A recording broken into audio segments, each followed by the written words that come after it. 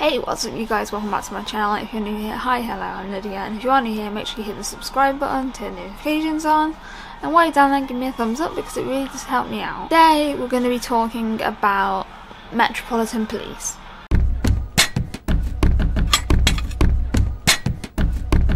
So if anyone doesn't know, I live in London and I have done for the last six years. I've been in London for six years now, and I've had my fair share of experience with Met Police in different areas of London. So, so let's start in Wembley, which was the first place I lived in London. So in Wembley, I had the police out quite a lot. But the first time I had police out in Wembley was to give a statement against Michelle. But I was pressing charges against her and they took my statement. So there was that. They was really supportive of me. They validated everything I went through and they was just generally comforting to be around. They made it so I didn't feel like I was being quizzed on it, even though they were asked a lot of questions. I did end up dropping charges against her because I didn't want to have to go through court because I just have to bring everything up again. But the point is that I, I tried to press charges and it would have gone to court if I had the backbone to go through court. The next experience I had with police was when the crisis team phoned them because I refused. I told them to get the fuck out my flat because they basically said I was attention seeking. So I told them to get the fuck out my flat and they wouldn't leave. So I called the police, said, "Can you come and remove these two social workers from my flat?" And that then security came up and escorted them away. But then they phoned the police saying I was a risk to myself common really. So yeah, the second time they came round, it was more they was doing a welfare check on me, and and basically the welfare check lasted about half an hour.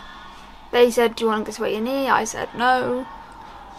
Anyone who knows me knows I never want to leave my flat when police are around because they can 136 you. And I had that happen once. They came to my flat in Wembley again another time, let's go get some fresh air. And I naively went downstairs with them outside the, the building and I was put on a 136. Honestly, they they was nice to me. When I had the mental health act assessment in Park Royal Hospital, the police waited with me while I had the assessment because I was too anxious to be there on my own and they wouldn't give me my phone. I got put on a section 2 for three days. Three days of no phone. I, I literally cried that I needed to check my phone and they said no. Only because I when I did get my phone, I took a picture of the mice that were running around and I posted that on social media saying how unsanitary it is. They got they grabbed they basically grabbed my phone out of my hand. So they can they, they can go fuck themselves. But back on the subject of police, let's move on to when I lived in Kingston.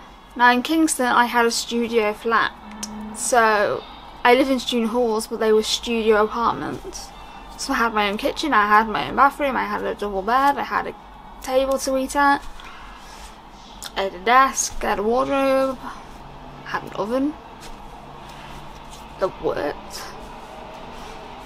And in short, when police came there, they either removed me under the Mental Capacity Act or they just left me to deal with it.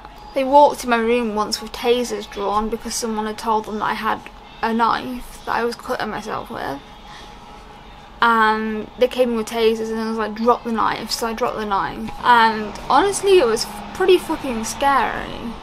Because when I lived in Lancashire, I got tasered because I didn't, I couldn't respond quick enough because of my medication and I got tased. I ruined my fucking slippers today. I was dyeing my hair and then some dropped on. Kingston police were genuinely very helpful and very nice.